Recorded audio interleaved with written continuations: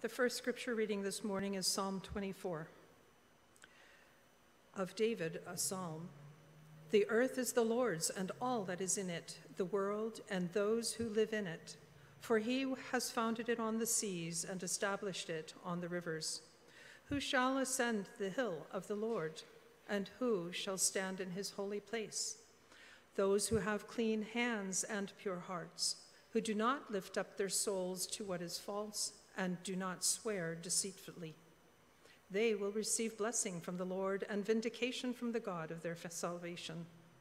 Such is the company of those who seek him, who seek the face of God of Jacob. Selah.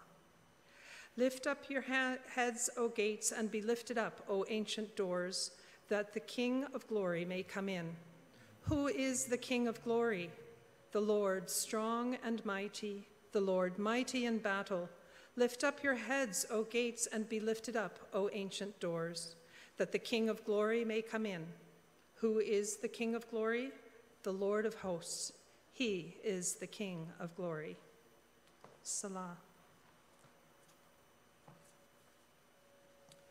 The second scripture reading for today is Mark 6 14 to 29, the death of John the Baptist. King Herod heard of it, for Jesus' name had become known. Some were saying, John the Baptizer has been raised from the dead, and for this reason these powers are at work in him. But others said, It is Elijah. And others said, It is a prophet, like one of the prophets of old. But when Herod heard of it, he said, John, whom I beheaded, has been raised. For Herod himself had sent men to arrest John, bound him, and put him in a prison on account of Herodias, his brother Philip's wife, because Herod had married her. For John had been telling Herod, It is not lawful for you to have your brother's wife. And Herodias had a grudge against him and wanted to kill him. But she could not, for Herod feared John, knowing that he was a righteous and a holy man and he protected him. When he heard him, he was greatly perplexed, and yet he liked to listen to him.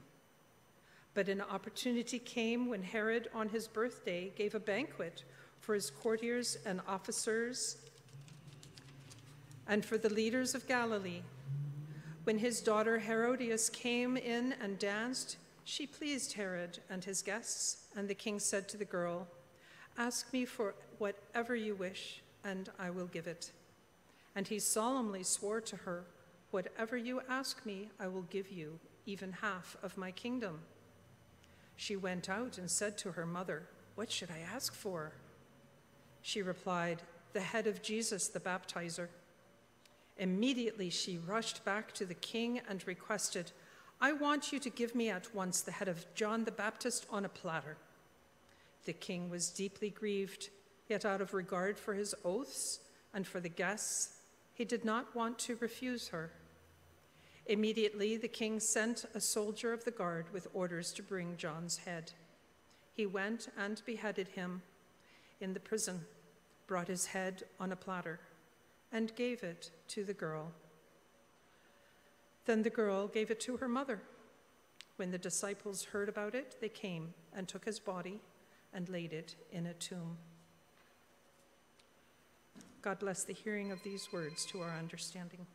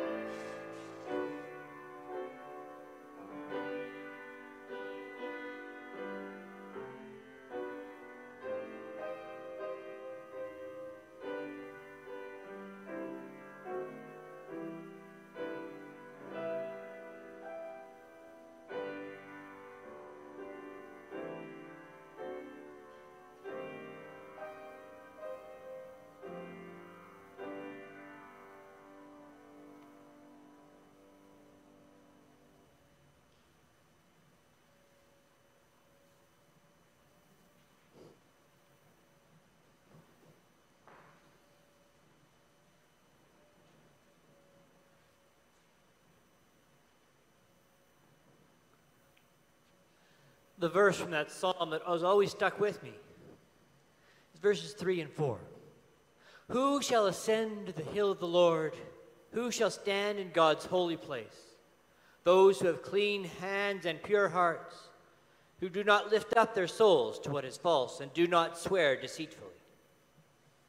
Now, part of the reason that sticks in my head is because 40 years ago or so, we sang a piece in junior choir based on those two verses. And those of us who stood at the back even created actions to go with them. They weren't official actions, and I don't think we were supposed to be doing them, but still, we created actions to go with them. But also, it sets a fairly high standard. Who shall ascend to the hill of the Lord? Those who have clean hands and pure hearts, who have not lifted up their souls unto vanity, who do not swear deceitfully. Thankfully, God not only asks us to do that, but God is also forgiving when we don't do that.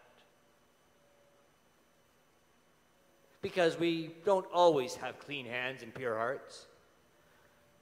We don't always say what we mean. We sometimes swear deceitfully. The writer of the Epistle of James writes For all of us make many mistakes. Anyone who makes no mistakes in speaking is perfect, able to keep the whole body in check with the bridle. We put bits in the mouths of horses to make them obey us. Or look at ships, large and take strong winds to drive them, and yet they are guided by a very small rudder, wherever the will of the pilot pilot directs. So also the tongue is a small member, yet it boasts of great exploits. How great a forest is set ablaze by a small fire, and the tongue is a fire. The tongue is placed among our members as the world of iniquity. It stains the whole body. For every species of beast and bird, of reptile and sea creature, can be tamed and has been tamed by the human species. But no one can tame the tongue, a restless evil full of deadly poison. With it, we bless the Lord and Father, and with it we curse those who are made in the likeness of God. From the same mouth comes blessing and cursing. Brothers and sisters, this ought not be so. No, really, James, tell us what you think about the tongue.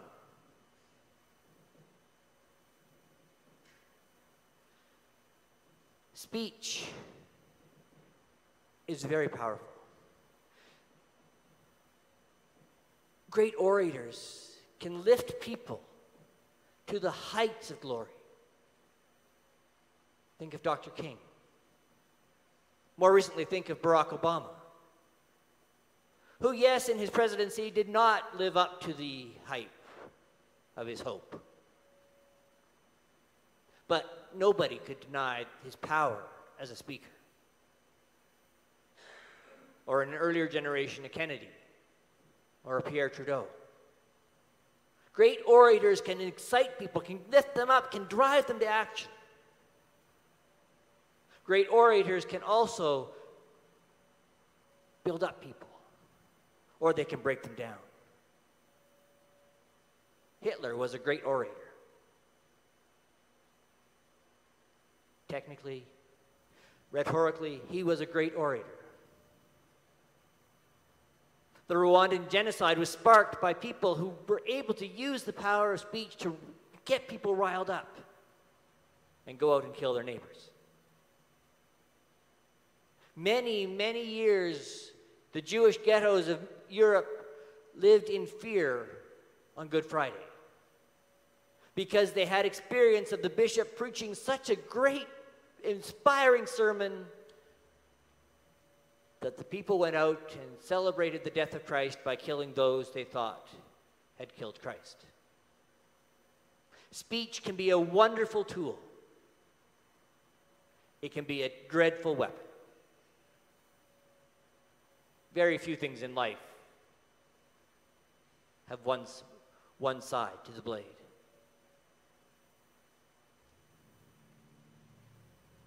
Who shall ascend to the hill of the Lord? Who shall stand in God's holy place? He who has clean hands and a pure heart, who has not lifted his soul to vanity, who does not swear deceitfully.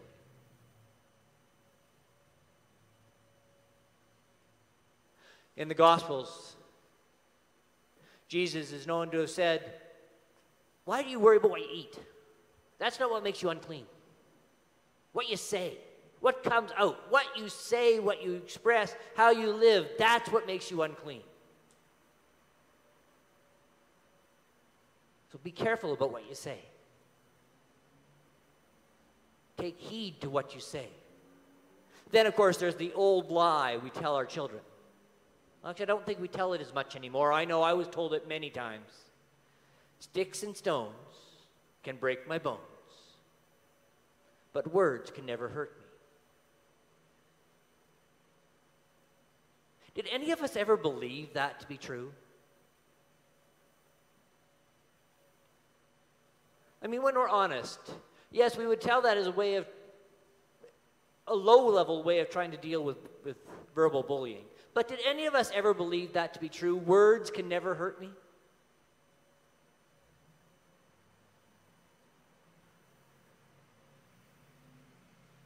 Some of the deepest scars I carry have nothing to do with sticks and stones.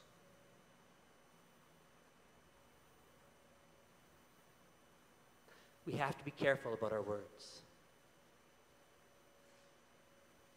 We have to be careful about what we say because it shapes our world, it shapes the people around us, it shapes how we view the people around us. We'll come back to that. But let's talk about Herod for a moment.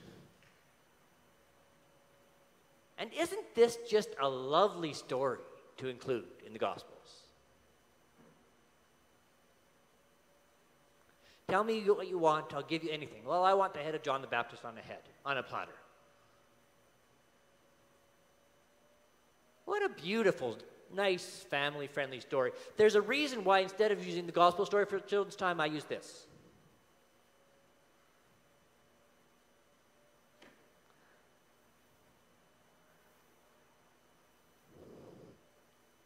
That Herod has John executed is attested to not only in the Gospels but also in other writings from the period. That there was a man named John the Baptist who preached and was executed by Herod is known. Mark seems to add some extra details that only Mark knows. Which is unusual because usually, if Mark's going to adjust a story, he makes it simpler and more basic. He likes everything to happen like this bang, bang, bang, bang. But Herod has arrested John, or has had John arrested. But he still respects him. As Mark tells the story, Herod has great respect, even awe or fear of John. In fact, when Jesus, the Jesus movement starts picking up speed, and this, John Mark sets this story as a flashback, right after we hear about the disciples going out into the villages and the towns and spreading the good news. And he says, Well, it must be John. This Jesus must be John, come back to life. Which chronologically makes no sense. John and Jesus, if we follow Luke's chronology, are about three months apart. For Herod himself had sent men who arrested John, bound him, and put him in prison on account of Herodias, his brother Philip's wife, because Herod had married her. For John had been telling Herod, It's not lawful for you to have your brother's wife. Usually that's interpreted that John that Herod has married Philip's wife while Philip is still alive. Kings do what kings will do, after all. And Herodias has a grudge against Herod, not surprisingly, since, since John has apparently been talking smack about her. And she has a grudge against John and wants Herod to get rid of him. But Herod has this respect, this awe, this fear of John. Some commentators wonder does Herod like to go to the prison and visit with him? treat him as a bit of a counselor. The relationship is very unclear. But anyway, let's go to the dinner party. You know, we might as well get to the meat of the story. The dinner party is the one which is widely, widely envisioned in Western culture as Salome and the dance of the seven veils. And as the story is told, Salome comes in and dances this very erotic, sensuous dance. And Herod, in it, so impressed, he says, I'll give you whatever you want. That's probably not what Mark is describing. Because it's quite likely that this daughter is 12, which really puts a creepy edge to the Salome story. It's quite likely that Western culture, wanting to, because of that desire to make it seem mysterious and an Oriental mystery, developed the Salome story as they did that in Western culture, if they have a chance to sexualize something, somebody in culture will sexualize it. But whatever it is, Salome dances for Herod, and Herod is impressed and is moved to say, to swear an oath. This isn't just idle words. He's swearing an oath and says, Whatever you want, I'll give you. So she goes to her mother and says, Okay, I wasn't expecting this. What do I want? Which sounds very 12 year oldish, actually. What do I want? Herodias sees her opening. Tell him you want the head of John the Baptist. We know who really wants the head of John the Baptist in the story. It's pretty clear. So she goes in and says, This is what I want. When I read that part, I imagine the blood draining from Herod's face. Oh, dear Lord, what have I done?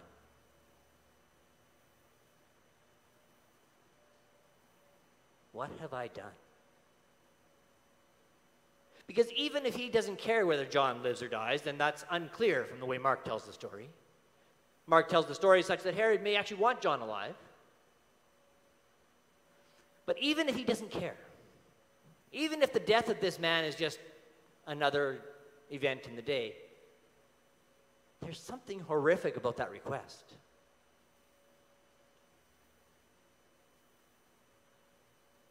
And the logical thing to do would be to find some way out of it. Like, uh, can't do that today, sorry.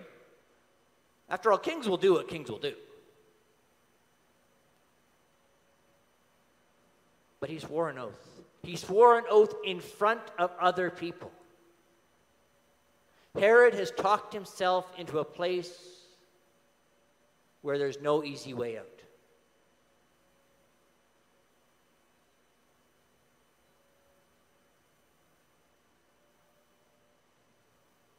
Every other species, James tells us, has been tamed by humans, but no one can tame the tongue. Herod has talked himself into a place where there's no easy way out. And he does the dreadful deed. Well, he doesn't do it himself, he orders it done. And the platter comes in. And the daughter dutifully takes it to her mother, who is the one who really wanted John's death in the first place. But Herod gets there because he's not careful about what he says. Probably Herod could. Who, who, who, when making that promise, would ever expect that to be the request? I mean, give him credit. He's not expecting that something horrible like that's going to come from his promise. But Herod talked himself into the corner.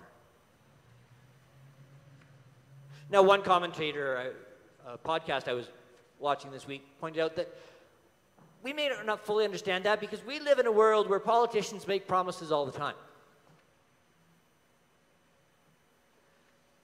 And some of them were promises we're quite happy they don't keep, if we're honest. And some of them are promises we really wish they would. The challenge being that what I wish somebody would keep, Somebody else is saying, well, that was a stupid thing to say, and vice versa. So we don't really comprehend this idea of an oath being sworn by a leader who then feels compelled, not just obliged, but compelled to keep it. But that's what Herod feels. In an honor based culture, to swear an oath and then not live up to it is a great shame. Which is why you have to speak carefully. It's why over and over again in scriptures we're told to watch your tongue. It's why Jesus says whatever we say is important. It's why James goes on and on about the evils of the tongue. We have to speak carefully because speech creates. In the beginning of our faith story, how does God create? God speaks the world into being. Speech creates, it creates reality, it shapes us. As people of faith, we're called to choose our words carefully because they shape us, because they shape our reality. We're called to choose our words carefully because words do great damage. Words can uplift, words can build up, words can create wonderful things, but words can do great damage. Sticks and stones can break my bones, but words can never hurt me. The old lie. We're called to speak carefully so we don't talk ourselves into a corner. So we don't talk ourselves into a situation where damage is done, where people are hurt. There's a reason why we teach our children, or we try to teach our children, things that we don't always do well as adults. Stop. Breathe. Before you say anything, stop. Breathe. Count to 10. Because we know words matter.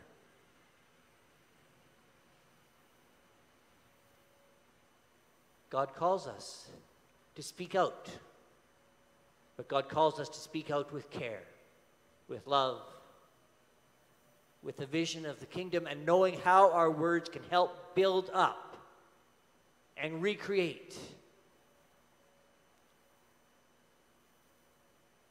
May we all speak carefully, speak lovingly, speak words that build up, and avoid as best we can the words which break down, the words which wound, the words which kill.